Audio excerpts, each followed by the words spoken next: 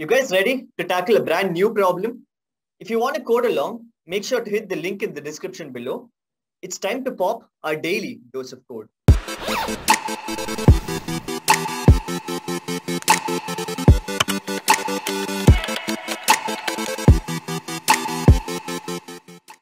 We've fought and defeated easy problems. We've bested medium problems. And now we're finally stepping into the realm of hard problems. Will we be able to vanquish this foe as well? Let's find out.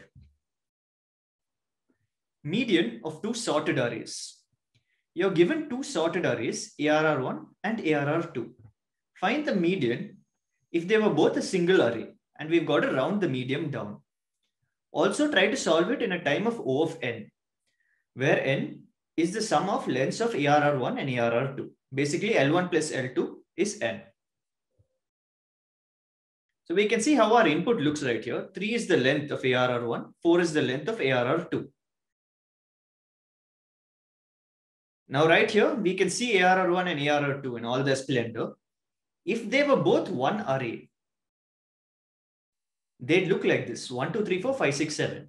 Now the median is simply the center point, the middle value. Three elements are to the left of 4 and three elements are to the right of 4. So 4 is the median. If we were to have an even number of elements, say this were our array, there are three elements to the left and three elements to the right. So what we do to find the median is take the average of the central two elements. That's 4 and 5. In this case, the average would be 4.5 and we've got to round it down. So the answer would be 4. Now that we know what medians are, we can attempt to start solving this problem. Head on to the link down below, guys. Try to code it out for yourselves. And once you're done, get back. All right, guys, welcome back. Now, what we can do to solve this problem is simply apply a merge sort algorithm. All we do is create a new array, initialize two pointers, one to the start of ARR1, one to the start of ARR2. Whichever element is less, we put that into the new array and move that pointer up by one. Then once we've constructed the new array, if its length is even, we return the average of the middle two elements. If its length is odd, simply return the middle element. That will work. That's perfect. That actually fits our requirement of solving it in a time of O of n. But let's try to one up that. Let's try to solve it without using an extra array and without having to traverse through the entire array. Instead, by doing only n by 2 steps. Now, theoretically, it's the same complexity. It's still O of n, but technically it'll be done twice as fast. So if we were to have this array right here, how would we go about finding the median? What we'd have to do is initialize a start pointer to the beginning and move it up n by 2 times. In this case, n is 7, n by 2 is 3.5, which gets rounded down to 3. So if we move start up thrice, that means there are now three elements behind start. So all we do is display the middle element. If instead it's an even number of elements, we take the average of that and the next element and simply display that result. How can we apply that same concept when that array is split? Instead of having seven continuous elements, we split it into four and three. In that case, how do we apply that same concept? Try to figure that out. And once you've got that, you've got the answer. We're going to assign two elements or two pointers, start one and start two, which naturally point to the beginning of ARR1 and ARR2. Now, these are the least elements in their respective array. Which is the least element globally? Naturally, whichever is lower among start 1 and start 2. In this case, start 2 is lower. So we assign mid to start 2 and we increase our step count by 1. We have now taken one step. Following this, we move our start 2 up by 1. This exact same process gets repeated a second time and a third time until the total number of steps is n by 2.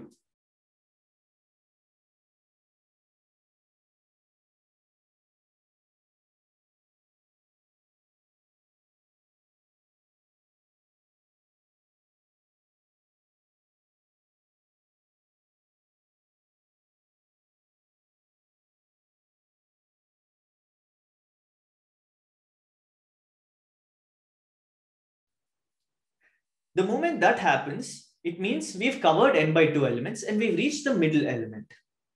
Now we're also going to keep a record of the previous middle element.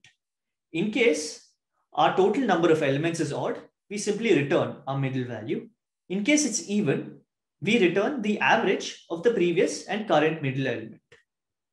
So if you have a look right here, steps initially zero. We haven't taken any steps. Mid and previous value zero initially. Start one and start two, you guessed it, zero. Now, while our total number of steps is less than half of the total number of elements, what we do is we assign previous to mid. Previous is going to keep a track of the previous middle element. First, we have to ensure that start one is less than L1 and start two is less than L2. This is where we're taking the extreme test cases into account. In case one pointer has reached the end of its respective array, we're simply going to have to increment the other pointer.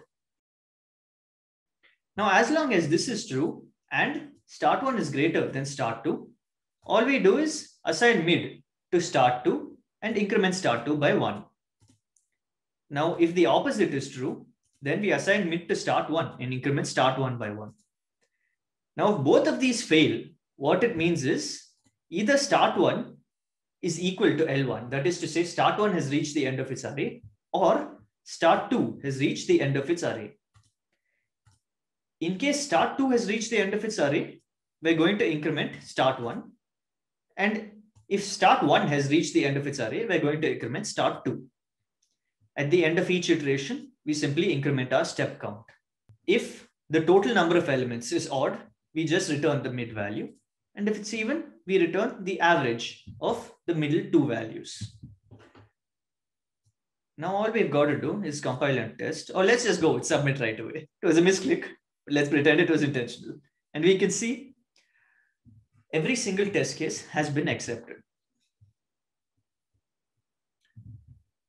So guys, that's the result to the problem median of two sorted arrays. If you like the solution, you know what to do. It's up on your screen right here. Click those three buttons and leave your comments down below. It's been Vivek, guys, and I'll see you all next time.